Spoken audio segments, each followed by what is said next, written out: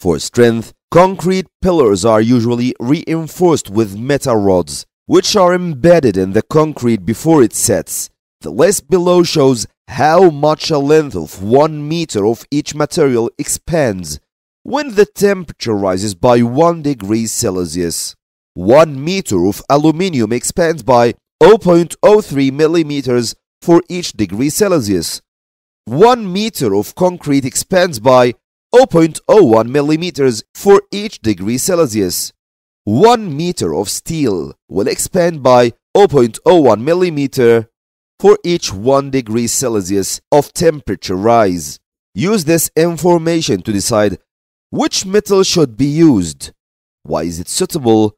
Why is the other metal unsuitable?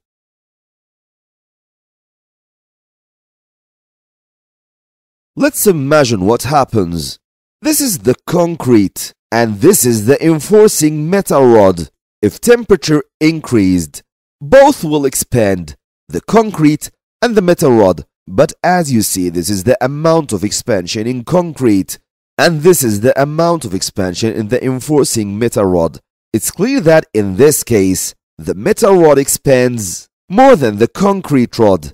That's why this may cause the concrete to crack. To avoid this, we must choose a metal that have the same expansion and the same contraction of concrete so they expand and contract together without any problems.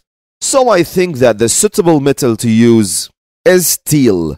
Why is it suitable? Because it has the same rate of expansion as concrete, while the other metal is unsuitable, different expansion. This causes the concrete to crack and damage. Each point for one mark.